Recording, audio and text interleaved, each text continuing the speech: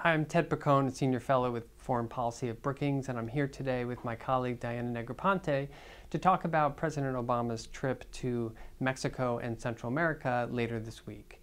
I think the main point you want to think about when the president goes in this part of the world is what does it mean for our foreign policy, our core security interests, and what it means for our partners in the South. Often we forget about how important these countries are to us, but increasingly, Mexico in particular is critical to America's future, its current and future economic uh, prosperity and its security interests. There are two issues in particular I want to point to, which are important domestic political issues for President Obama. One is immigration, and the other is gun control. These are high on the president's agenda, and he is spending his political capital in the second term to try to move the ball and get results that matter for Americans, but also matter a great deal for Mexicans and Central Americans, who every day are facing the challenge, number one, of finding jobs, and many of them come to the United States to work and sometimes face very difficult circumstances here, and also the violence that Mexicans face at home largely the result, partly the result, of guns that are flowing from north to south. Two thirds of the guns that are found in crime scenes in Mexico are traced back to the United States, and that's according to US data. So I want to get into some of these issues uh, in our conversation today and turn to Diana and talk in particular about what will probably be the headline of the trip, the economic and trade relationship. Diana. Ted, I'm very glad that President Obama earlier today talked about the importance of trade and investment in the relationship.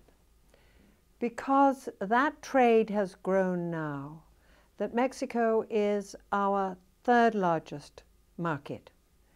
And we are now exchanging goods at $1 million every minute, or $494 billion a year. Extraordinary. Extraordinary.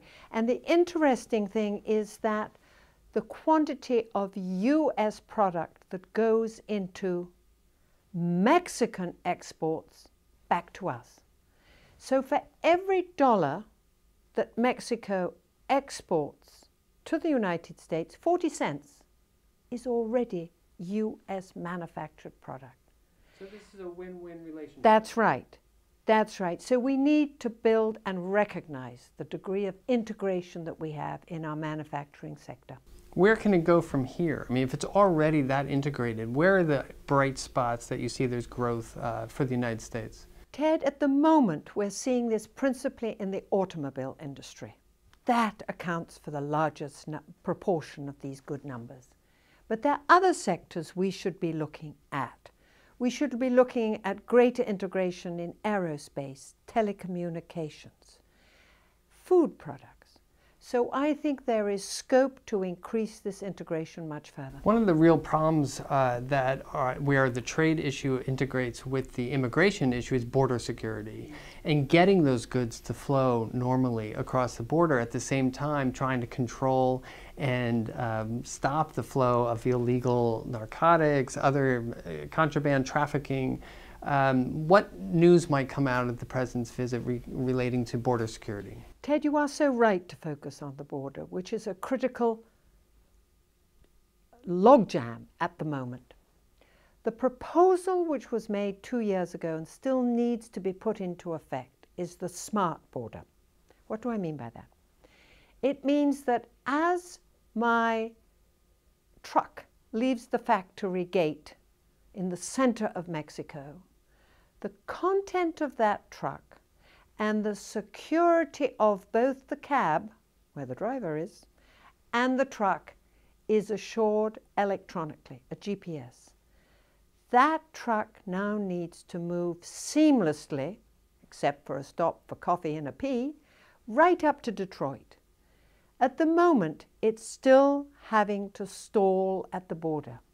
But the construction of special roads across the border for this type of pre-cleared truck would facilitate our commerce enormously. Well, this is a big breakthrough um, from the president's first term when the reached agreement on the trucking dispute that was left over for so many years. Uh, this was agreed to in NAFTA to allow Mexican trucks to have better access uh, into the United States. And we stalled and stalled and stalled. And it's finally now working, as you said, but with certain controls, um, GPS, uh, et cetera. I think um, there's another issue around border security, which is the ports of entry and making sure that there's a basic infrastructure that the flow can happen. Uh, there's going to be the first uh, railroad crossing on the border, uh, first time in 100 years. And I think that shows that we're trying to invest in the infrastructure while at the same time building the not just the walls but the surveillance uh, capabilities to make sure that the legal things are flowing and the illegals are kept out. It's the balance that we have to make. The cross-border points, 53 of them, are still few for the quantity of trade which is passing through. But you are right. US citizens are concerned that smuggled migrants, cocaine, marijuana, etc., will be used in those trucks and rail cars to pass into the United States. I've spent time down in Nuevo Laredo and then at Otay Mesa looking and looking at these problems with the Customs and Border Patrol. They have the technology, they have the manpower, but here is an issue which could be solved. At 8 p.m., that border closes. Why? Because the Mexican brokers do not wish to work after 8 p.m. So that instead of having a 24 hour transfer across our border points, we're only working from 7 a.m. to 8 p.m. That is a problem our presidents could solve. Right. So I think um, another area that's sensitive to this border security issue is uh, the flow of people, which we've talked about. But it's a remarkable statistic that under President Obama's administration, there's been a huge increase in deportations, particularly of Mexicans back to their home countries. Now, it's come at a time, fortunately, when the Mexican economy is growing. Uh, and, and, therefore able to absorb people back in their societies and get some kind of employment underway. Can you say a little bit more about how Mexico's economy is doing in general? It's growing at 3.5% this year, which is okay. Not as good as last year, where Better it was nearly. Yes. But Mexico has to absorb 1.5 million new entrants into the job market every year. And therefore, that pressure for jobs, good jobs, quality jobs, is going to remain with us for a long time to come. The minimum wage in Mexico is 60 cents an hour. That's too low. In the manufacturing sector, it's $4.5 an hour. So you can see the magnet, the draw effect that a job in the US, even if it's mopping tables, would present for a young Mexican.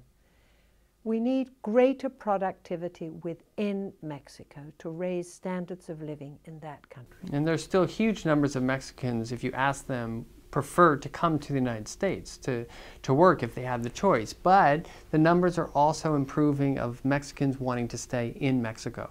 And I think it's kind of constant duality of relationships and livelihoods that cross the border is is the it's the current and the future of this relationship and why it's so important that we get it we get the balance right as as you said.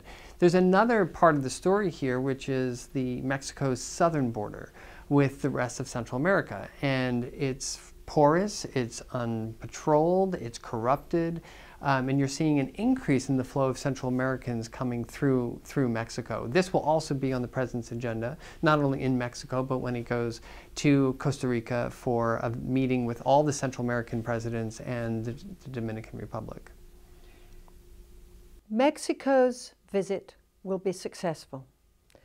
The visit with the Central American leaders raises questions because you are so right the level of economic development and the strength of the institutions is very weak.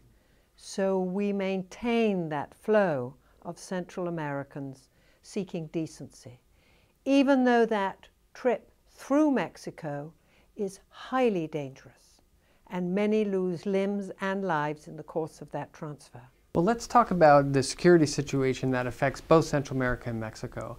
You know, this has been, of course, the number one issue in the relationship for some time, and presidents on both sides want to lower the profile, lower the visibility of this issue. Of course, it will be on the agenda, the main story being the economic relationship.